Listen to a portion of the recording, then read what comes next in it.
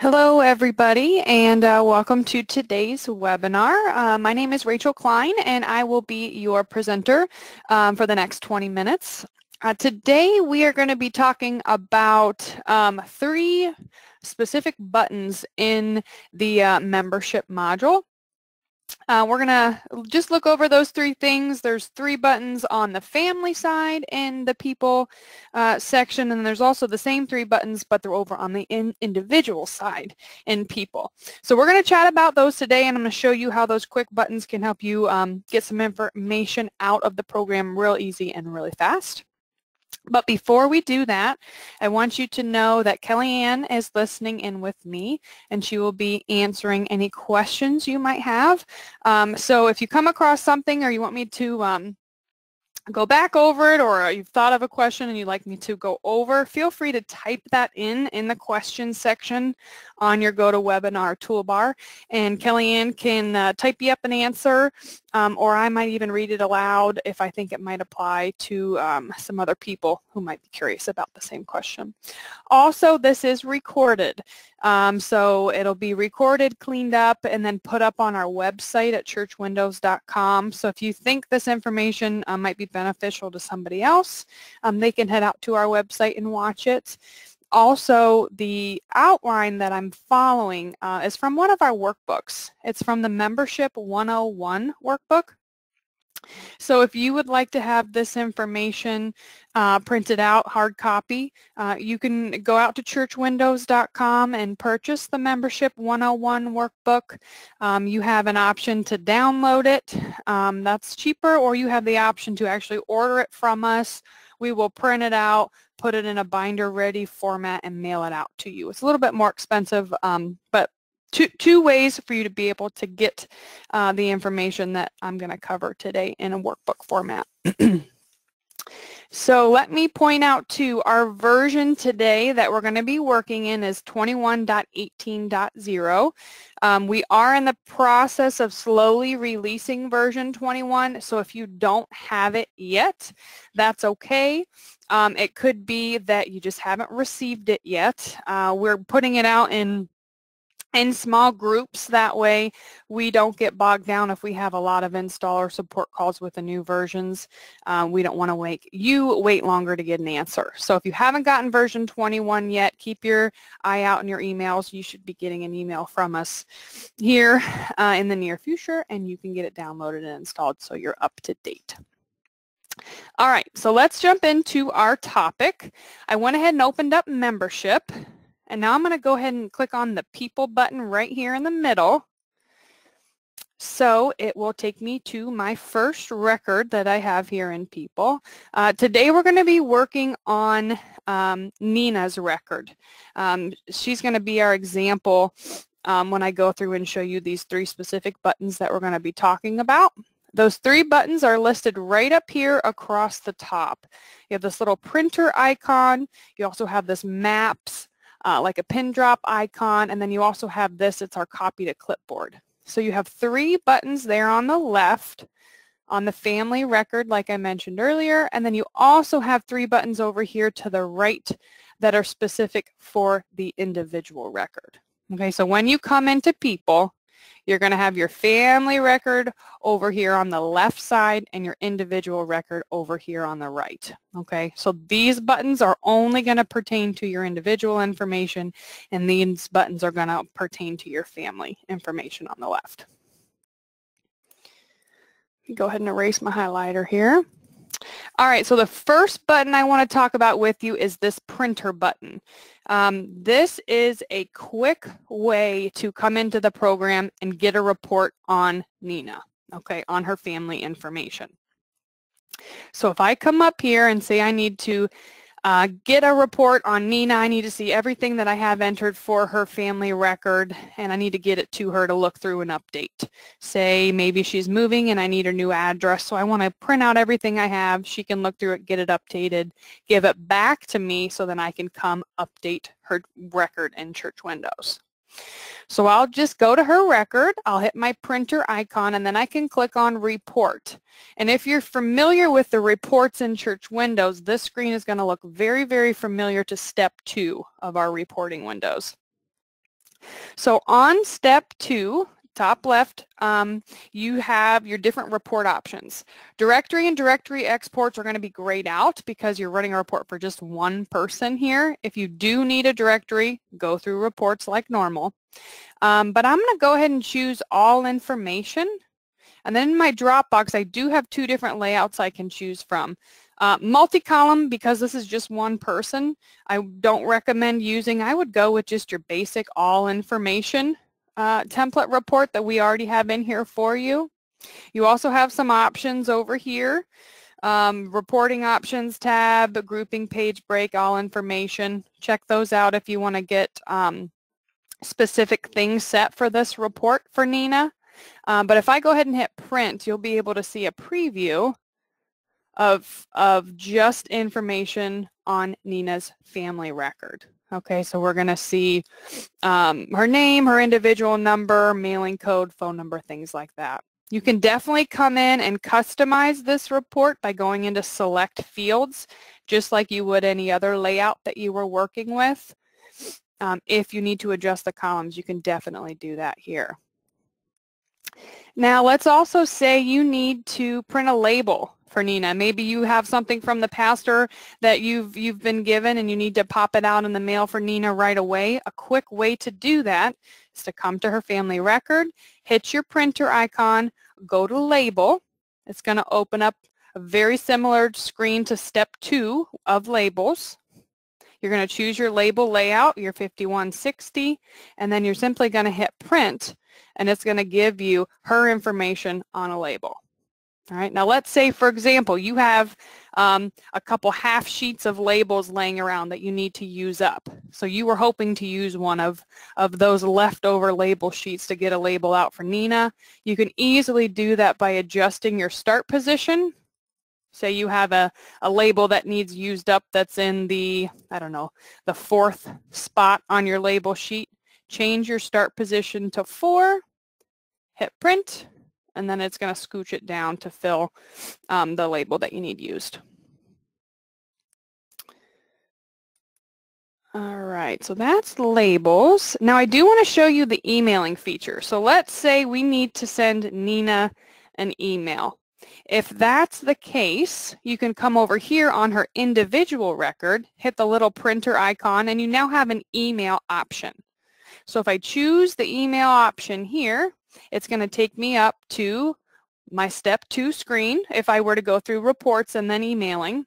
It's only going to show me Nina because I'm on her record. And then I would simply need to pick my email settings. And we do have web um, webinars we previously previously done, excuse me, on setting up email. So if that's something you're wanting information on, head out to our website and you can get lots of good information on setting up church windows to email for you. You would come down here and create your custom email message, give it a subject, the message that you need, and hit send. So that's a quick way to shoot out just one email for one person. All right, the next thing I want to show you is the map uh, button that we have. This is a really, really nice feature that I think a lot of people I talk to aren't aware of. Um, let me go ahead and hit the little map button here and it's going to bring me up some address information. So the from address that you're going to see on the left, this is your church address. So this feature is really, really handy if you have uh, a deacon or an elder or your pastor or somebody in your church needs driving directions to a specific person's address. Okay, so the left is going to be the address of the church. This is going to be the address that was put in in your um, your system information when you first started using Church Windows. It's going to automatically pull that address and fill it in here as your from address. If you look over to the right in the to address, this is Nina's address. Okay, so it's going to automatically look at her record because we are on Nina's record and fill in her home address or whatever her current address is as the to location. Okay. Now, let's say, for example, um, the pastor is coming from someone else or it's coming from the hospital to go visit Nina. If that's the case, you can come down here, hit the other button, and put out put in the address that they're currently in, and you can get driving directions or a map that way. Okay, so you don't always have to use the church's address if that's not where they're coming from. But let me go ahead and hit the Get Map button down here at the bottom right. And this is going to show you just the location of Nina's address. So this is a quick way to see, you know, what part of town does someone live in or what are they close to, things like that. Now you can also hit the Get Directions button and that takes you out to Google Maps as well. But this is actually going to give you the driving directions on how to get to um, Nina's address. Now I know most people have smartphones and I understand most people have Google Maps or Siri or whomever on their phone that gives them their driving directions or they have it in their car for that for that matter. But this is nice to have in the program because you can see real easy where someone lives, where their address is, what part of town, even what state if you need to see what part of the state they're living in if they're a visitor. Um, but this also gives you a quick idea, yep, this is going to take us six minutes to get there from the church. So it's a really, really handy tool. All right, so that is the map feature. Now you also have a map feature for the individual. Now keep in mind, since Nina is the only person in this family, the address on the right-hand side for the individual will be the same as what it is for the family. An example of when you would use this map feature on the right for an individual would be if the individual's address was different than the family's address on the left. So for example, you do have an address, phones, emails tab here on the right for the individual. This could be helpful if there's a spouse that's in a nursing home or lives somewhere else um, in the hospital currently. This could also be helpful if, say, for example, you have a kid who's off in college um, and you want to get driving directions or look up a map for that specific person. You'd have to go to the right side of the screen on their individual record and hit the map button there. All right, so the last thing I want to cover is the um, copy to clipboard feature. Um, this is really slick. It's this little button here that has the two sheets of paper. All this button does is grab the mailing label and the address information and copies it to the clipboard so you can then paste it somewhere else okay? So let me hit this copy to clipboard button. Nothing will happen. You'll see the button does indent a little bit and puts the dotted box around. That's way you know you've clicked it. But then if I come down in here, and I'm going to go into Notepad so I can show you what it will do. If I open Notepad, I simply do a right click and a paste and it's going to pop the address along with the mailing label right in here. Okay, so this could be really handy if you have another program where you need to put someone's name and address information in quickly. You can put it into anywhere. You can do a right click and right click and a paste, excuse me, and it'll take that information and allow you to put it somewhere else. All right, so that is the copy to clipboard button. Same thing, you have that option over here on the right if there is an individual in the family that has a different address and you need to grab that information. All right, guys, that covers those three buttons I was going to discuss with you today. I'm going to go look at my questions and see if there's anything coming in that I can help Kellyanne get answered.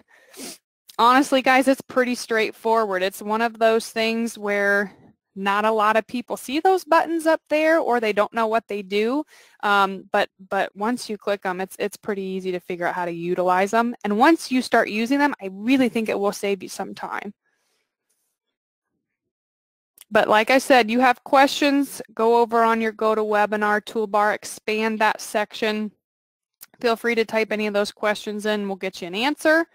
Um, if you don't have any questions, that's fine too. Just feel uh, feel free to sign out of the webinar at any time.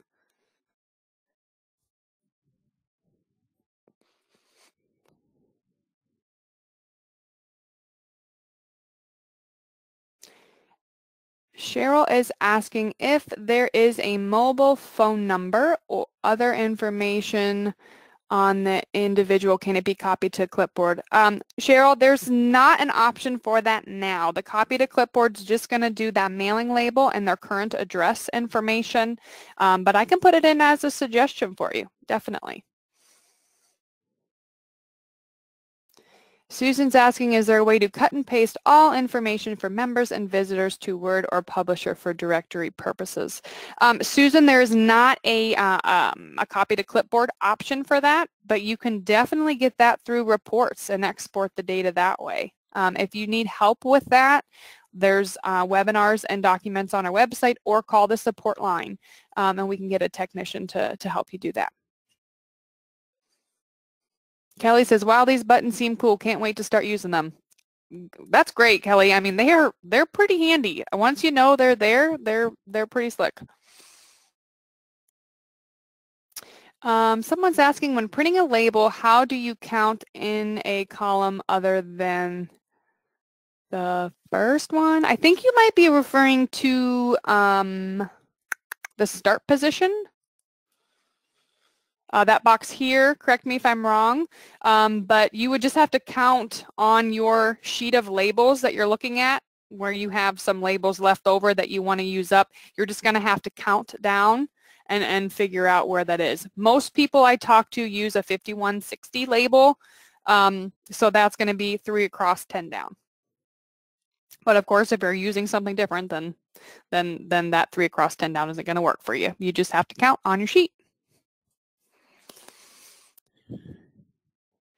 Can the church windows icon be put on a smartphone, thinking that the addresses might be useful to the priest while he is out of the church and needs a map? Um, I, I, hear your question. We do have um, Church Windows Web that can be accessed anywhere you have Church Windows access. So if that is something um, you would be interested in, please feel free to call our support line and speak with one of the ladies that answer the phone. Um, they would be able to give you more information about Church Windows Web and also give you pricing for that as well.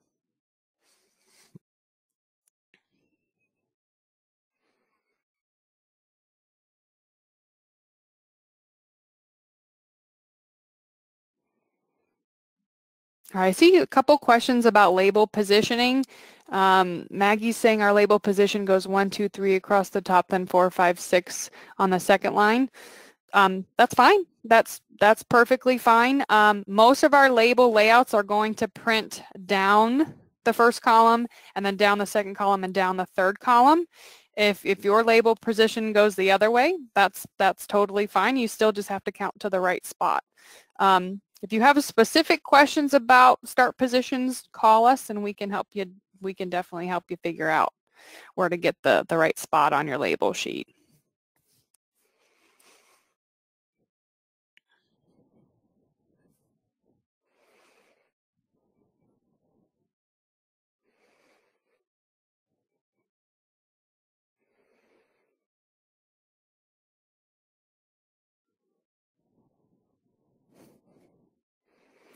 So Maggie, if you go into edit label, right in here, if you click on your, oops, label layout,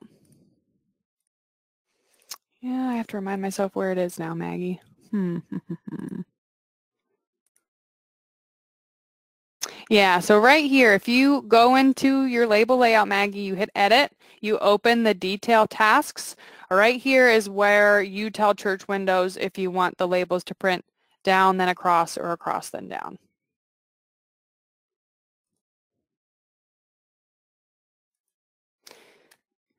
All right, guys, we are right at the 20-minute mark. If you have any questions specifically to the, the printer icon, the map icon, or the copy to clipboard um, icon, please feel free to type those in real quick and I'll get you an answer. But if you if you've gotten the information that you you were looking for when you signed up for the webinar today, please feel free to sign out. That that is fine.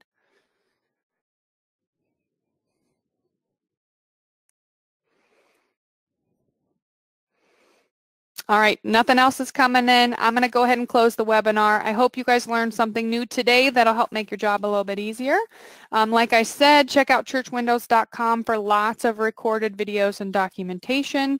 Um, and as always, you can give us a call on our support line or email us at support at churchwindows.com and we can help you out that way. Have a great day, guys.